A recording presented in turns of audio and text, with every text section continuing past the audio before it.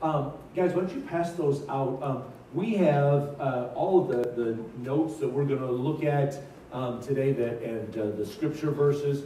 They are in YouVersion live. If you have a device that's connected to that, you can search for um, just if you hit live events, you'll see it right there. But this is the hard copy um, as well. And uh, we're continuing in our series uh, looking at all of the Selahs in the Psalms the, the Selahs in the Psalms. And these are, uh, this is a musical term, and it's really very rich with meaning. Now, I, I, just, quick show of hands, how many of you at some point in your life, you took some sort of music lessons, piano or some other instrument? Okay, so quite a few of you. So, so you know that, you know, you'll see things when you're reading music, you'll see like an F there that, that means something to you. It means that you're going to start playing this music forte. You're going to start playing it a little bit louder. Or you'll see some signs that look kind of like greater than or less than signs that tell you that the music's getting louder, the music's getting softer. So we have those little notations in there. And this word Selah is a musical notation like that. These, uh, most of these psalms, if not all of them, were written, written in musical format um, that, that certainly poetic, that, that it flows and made it really easy to set to music. And we get several of the Psalms that give us this Selah in here that tell us to pause. And so we're going to look at that again today in Psalm 47. Now, this psalm um, carries with it something that we learned last week. If you were here last week, I talked about how Hebrew poetry and a lot of Hebrew stories are different from what we think of in the Western world. Most of our stories um, kind of builds, there, there's this struggle that's going on, there's this conflict, and it's building towards this moment where the hero comes on the scene, where everything resolves, and then you usually have a pretty uh, small, like kind of letdown after that. Is that the whole story sort of resolves and wraps up, and you see that they all lived happily ever after, or whatever happened? In, in Hebrew poetry and in a lot of Hebrew stories, the, the climax or the most important part of the story is usually right in the middle of the story. So you can understand if somebody was just verbally telling you a story, not one that was written down, you don't know exactly when the climax is coming. So it's really pretty good for keeping somebody on the edge of their seats, for keeping their attention, because you're like, I'm not exactly sure when we're going to get to the bang right there, and so I'm paying attention. And then once you get to that part, then you begin to realize, oh, I see how this other stuff built up, and I and so everything radiates out from that.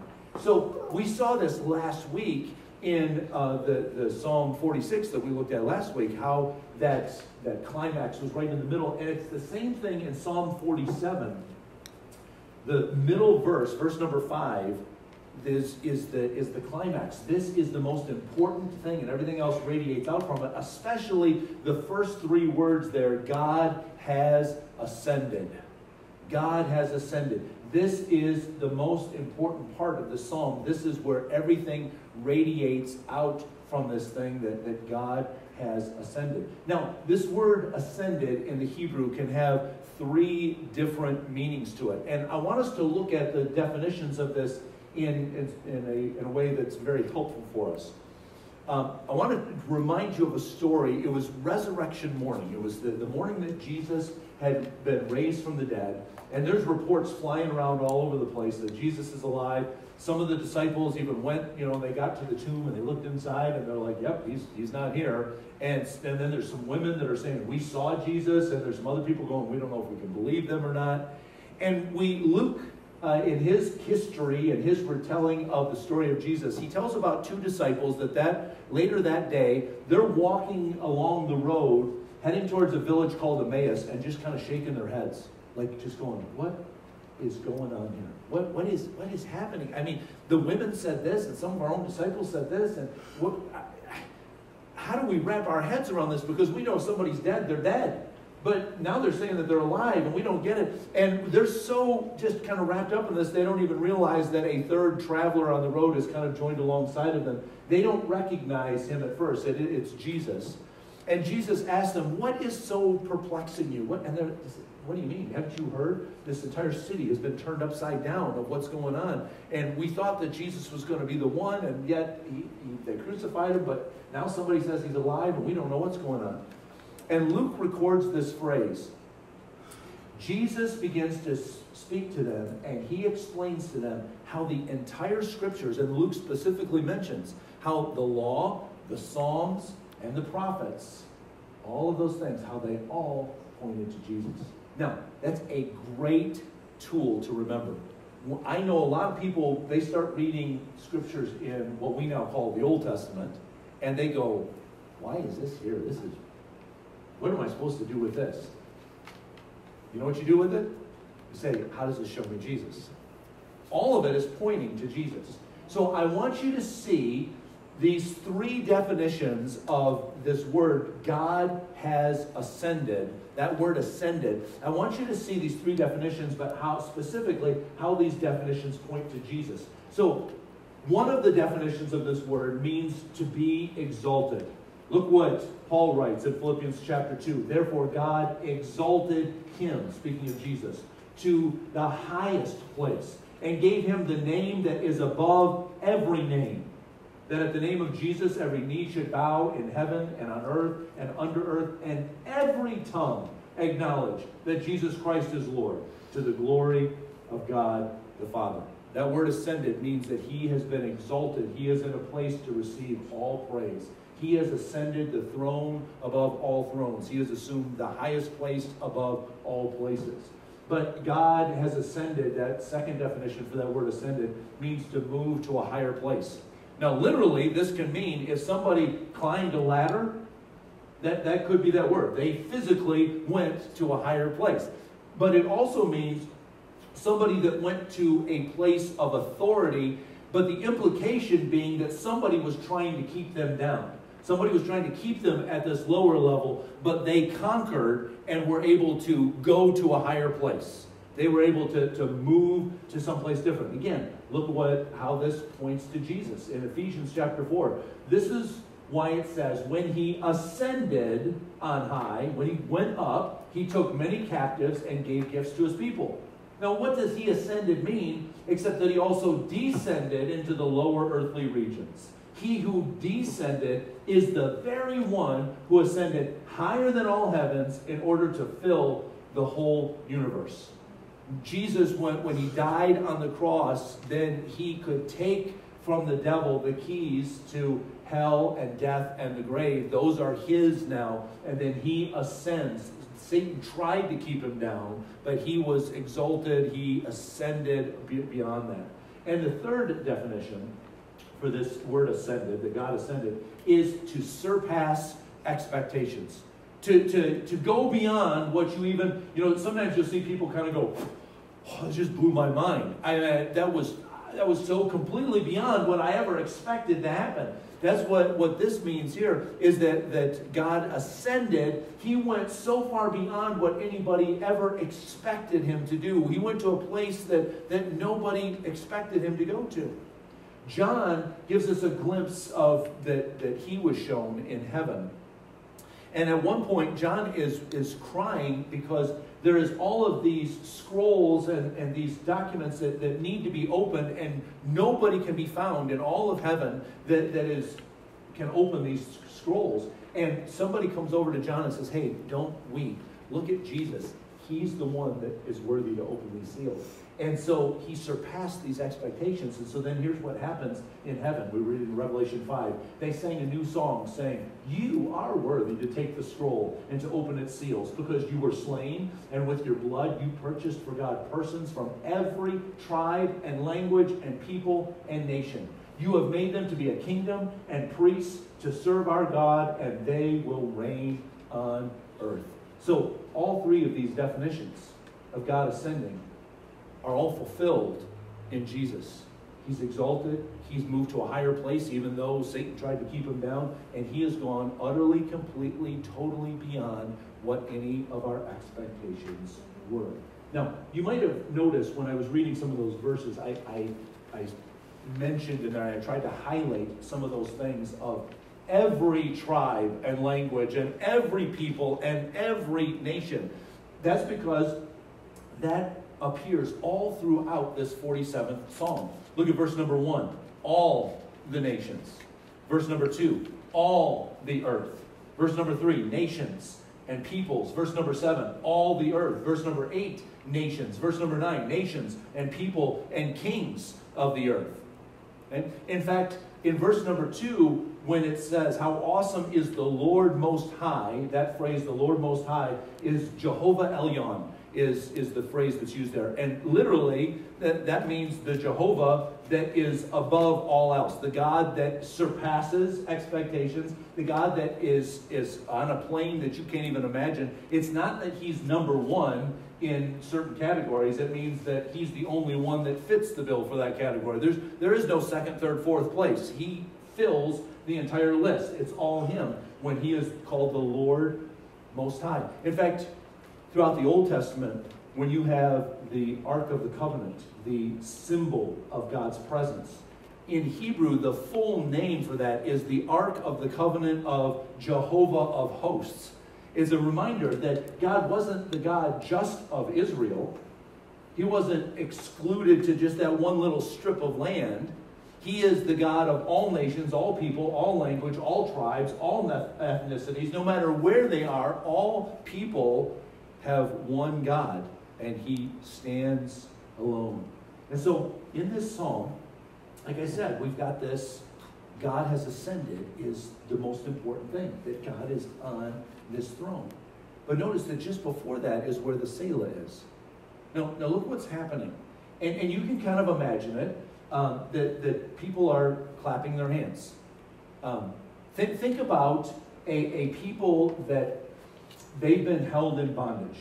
They, they've been under, they've been oppressed by a, a ruling kingdom that has been evil and wicked and has kept them down and has, has, has just oppressed the people where they can't live their lives in, in any kind of freedom.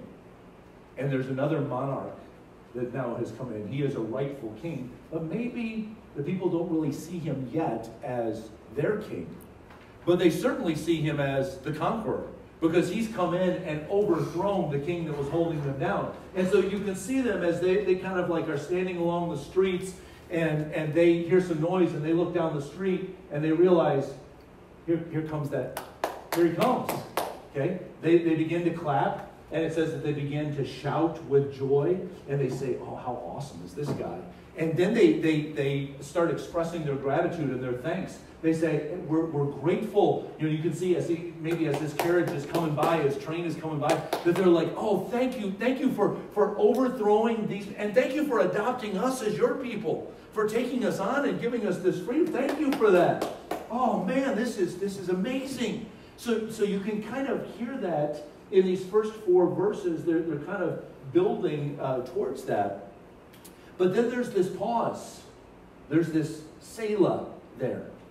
Now, I've shared with you before that Selah can mean uh, one of three different definitions. This one is definitely that pause for everybody to take a breath so that it can crescendo, so that it can explode in praise as, as they you see this king, not only you're clapping and you're excited and you're saying, Oh man, awesome job. Thanks for setting us free. Thanks for taking us on as your people. Thanks for giving us that freedom. But now the king is walking up the steps, heading towards the throne, and he's finally coronated. He's finally crowned as the king over these people. And, and as he ascends the throne, as he sits in his royal throne, and the crown is placed on his head, now people say, well, now he's on the throne. God has ascended. And all of a sudden, there's this explosion of praise.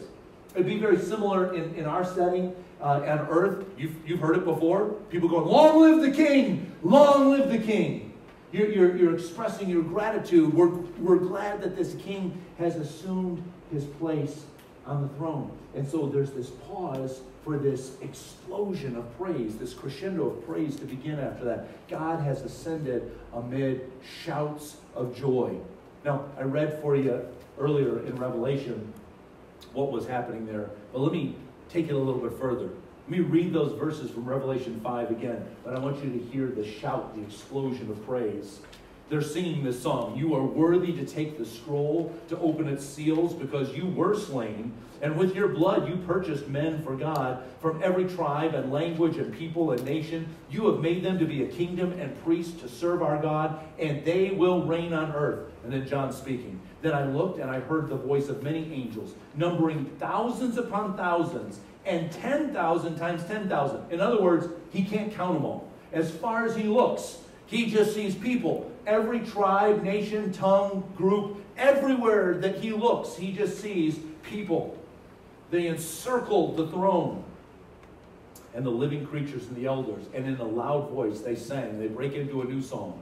Worthy is the Lamb who was slain to receive power and wealth and wisdom and strength and honor and glory and praise. Kind of get the idea? You could keep putting and, and, and, and in there. I mean, he's running out of words. Then I heard every creature in heaven and on earth and under the earth and on the sea and all that is in them singing to him who sits on the throne and to the Lamb be praise and honor and glory and power forever and ever.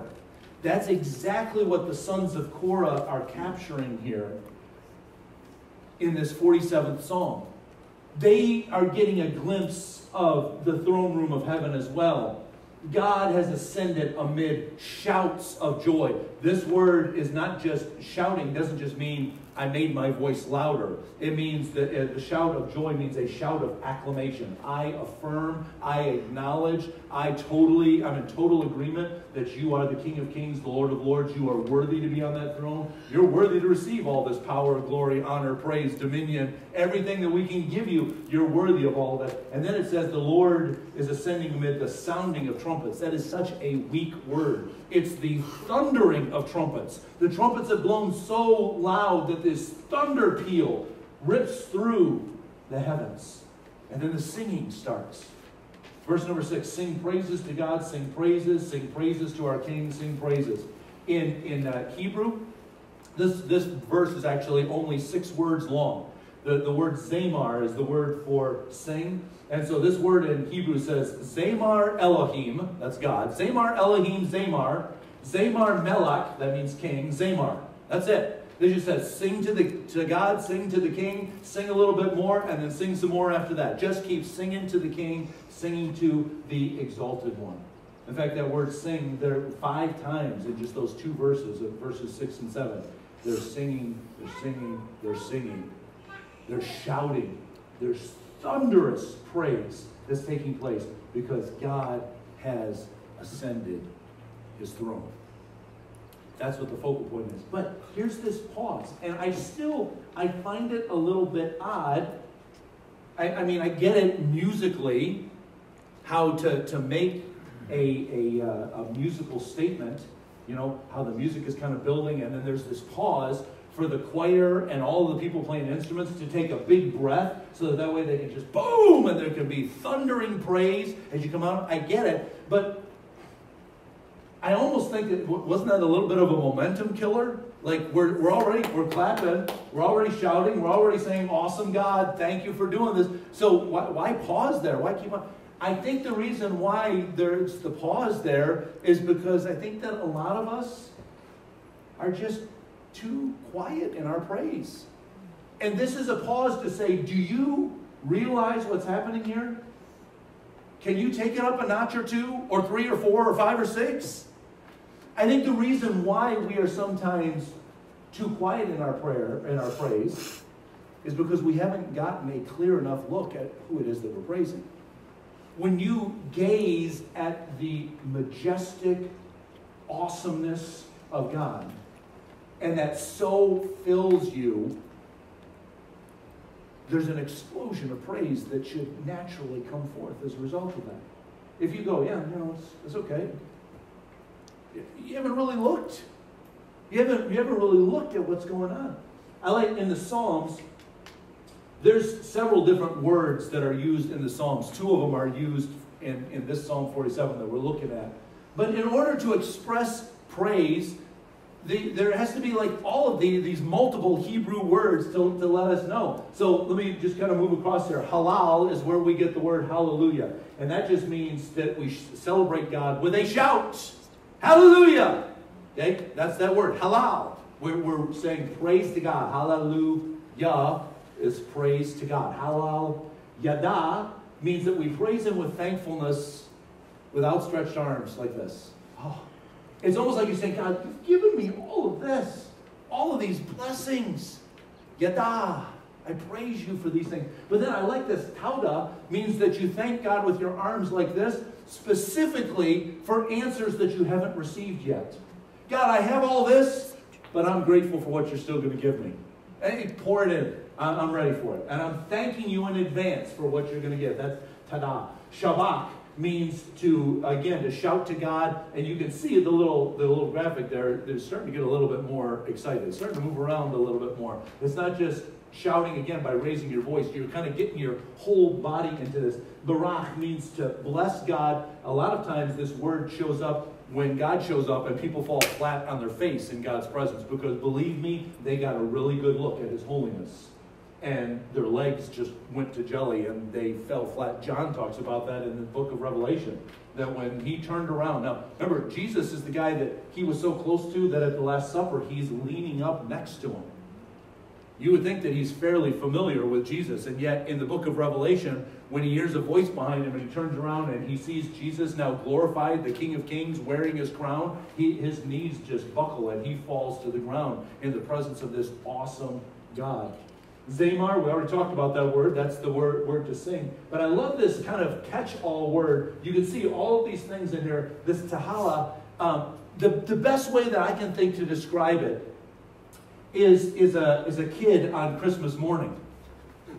Can, can, we, can, we, can, we, can we do it now? They, they can't contain themselves, right? Or sometimes you'll see it on the sports field, right? There's a crucial play, and the players are watching, they're watching, and then they're just like, and, and they're jumping in each other's arms, and they're tackling each other. Some people, they, they're just running laps around the field. They don't even know what they're doing.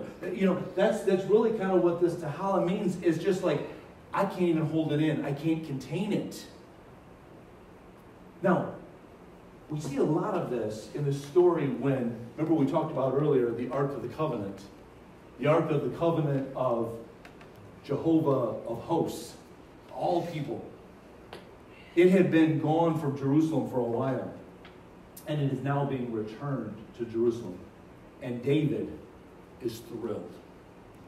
The, the, the words there are a lot like this. He's dancing around. It says he danced before the Lord with all his might. He is shouting his halals, I'm sure, and singing and twirling. He can't even contain himself. He is so excited. And then we see a picture of his wife looking down, mortified. David comes home later that day, walks in the house, and he is still just brimming with joy. He's still just kind of, there's a bounce in his step. He comes in, and you talk about getting cold water thrown on you. She's like, with her voice dripping with sarcasm, oh boy, what a spectacle you made today. Man, did you embarrass yourself? You embarrassed your whole family. That's not how you behave. You were so undignified. And David said, You know what? If worshiping God makes me undignified, I can't wait to get more undignified. You know what he's really saying? Is I'm so enraptured with God, I'm so focused on this King of Kings, I really can't even hear what anybody else is saying around me, and nor do I care what anybody else around me says. Okay? You know, there, there's a, a, some of the songs that, that we sing sometimes, there's one song that we sing called I Could Sing of Your Love Forever. And part of that song says, Oh, I feel like dancing. It's foolishness, I know. But when the world has seen the light, when the world has seen this king the way that I've seen him, they'll be dancing with joy like I'm dancing with joy. It's, it becomes, people are like, how can you be that excited about it? What, what, what are you so excited about? And I got news for you. If, if you struggle with this, like, oh ah, man, I don't know if I feel really comfortable with shouting. I, I don't know if I really feel very comfortable with these thundering trumpets. That, that just seems, I don't know, it's a little bit too undignified. Well, guess what? When Jesus comes back, he's going to be highly undignified then because it says, For the Lord himself will descend from heaven with a shout and with the voice of an archangel, and with the blasting trumpets of God. Don't be like David's wife, Michal and go, oh, that is so undignified. I, I can't believe you're embarrassing yourself acting like that. But if you begin to just worship God now, the way this psalm invites us to, the way this psalm just takes all of the focus and puts it on the King of Kings that has ascended the throne, that's been exalted, that's overcome, that's surpassed all expectation. If you're getting such a close look at him that you're shouting, you're dancing around a little bit, who cares what anybody else says? Because you know what? When they see that it's the real deal, when they when they see that, that it's you're not just putting on an act, but you're just really so enraptured with the king, just like that song says, they're going to see that joy and, and Peter tells us people are going to ask him, "Okay, can you tell me the reason for the hope that you have? Can you tell me why you're so happy? What is it that you're looking at? You, what, are, what are you gazing on that is, is so just over, and you, and you don't mind being undignified as a, get a good look at our King so that you don't care. If you shout hallelujah and people are going, what's going on with you? I'm just praising my King because he's worthy to receive all of the praise that we can give him. So let me give you just four quick thoughts to wrap this up. First of all, God is the King of Kings. Like I said earlier, he's not like number one on a list of other gods or other deities. He's on the list all by himself. Nobody compares to him. There, there's, there's nothing that, that you, you can say, well, he just barely edges out here. Or let's, let's put the two side by side and see which one kind of comes out. In a, he, he's already the conquering king. That we already see that picture not only here in the Psalms, God has ascended the throne above everybody else, but we see it in the very last book of the Bible as well. You alone are the one that's worthy to receive all praise and glory and honor and power and dominion over all the nations. So God is the King of Kings. So don't don't get well. You know, do I please these people or do I, do I please God? Just focus on Him, and who cares what what people have to say about it. The second lesson is God gets the best. God gets the best. In this Psalm, verse number seven, it says, I'm reading out of the NIV version, it says, Sing to him a psalm of praise. Some translations have another English word in there which comes a little bit more close to the definition. It's sing to him a song of understanding. The idea is that you are, because you are seeing God a little bit more clearly, you are understanding a little bit more who God is and how much praise that your song is starting to get better. You should be able to praise God better today than you praised Him last week because you saw Him more clearly this week. Every day that goes on, your praise should get richer and deeper and, dare I say, louder. Um, because you are more focused on Him and you care less and less about the people around you. So God gets the very best. Now, thirdly, God deserves a holy vocabulary. Now, there's a word that appears here, and I just want to use this one word as an example, and I've used it a couple of times this morning. It says, How awesome is God? That word awesome, anytime in the scripture that it's used, it's only people talking to God or people talking about God. It's not used anywhere else. Awesome. It means I stand in awe. You create this awe in me. When I think about you, I am in utter awe. Now, I, I want, listen, I, am not, I don't say this, I'm not trying to condemn anybody. I'm not, I'm not trying to, to, you know, make you feel guilty about anything, but just, I want you to just think about this for me for a second. If you're standing somewhere giving God praise and you're telling him how awesome he is, is it really appropriate to then talk about how awesome your hamburger is? If you see an athlete on the field that makes a catch, is it really an awesome catch? If you're giving, if you're telling God that He's awesome? When we talk about holy, we mean things that are set apart for a special purpose that they're not used anywhere else. And if you begin to ask the Holy Spirit, what can I give to God? Maybe even in my vocabulary, maybe in my actions. What, what am I going to give to Him that I don't give to anybody else? God deserves a holy vocabulary. He deserves holy actions from us. Things that we give Him that we don't ascribe to anybody else. In other words, we don't even allow the same feelings of majestic awe and wonder to, to come up anywhere else, except if maybe you're standing there looking at that sunset or that mountain range and you go, What are you doing? This is an awesome God who created this. You know, and you begin to sing that song, Oh Lord my God, when I in awesome wonder consider all the worlds your hands have made. Then sings my soul, How great you are, how great thou art. And my, my praise comes back then. But keep the vocabulary, keep the actions holy for God. And finally, notice this, we highlighted this several times. God is God over all nations, all people, all languages. We read it in Philippians that at the end of time, every knee will bow and every tongue will confess that Jesus is the King. Every knee. They are either going to bow in humble, holy, grateful adoration or they're going to bow in abject terror of an all righteous judge.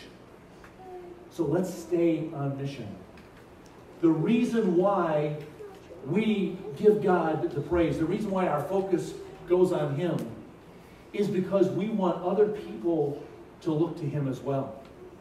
Our praise can become missionary. When we start telling, we're just by our praise, we're telling other people there's something so beyond what I think about what you think about me. There's something so beyond that and so worthy of praise that other people are going to go, I don't have anything like that in my life. I would like to have that as well. I'd like to focus on that as well. So let's make sure that our lives are bringing more people to the knowledge that Jesus is the King. And we're going to do a lot of that by the way that we praise. He's worthy to be praised. This psalm tells us that God is clap-worthy. He is praiseworthy. He is dance worthy. He is shout worthy. He is trumpet blasting worthy. Okay? So don't hold back in what we give him. He is the God who has ascended the throne. Let's give him all the praise. Look at this psalm one more time. Let's read.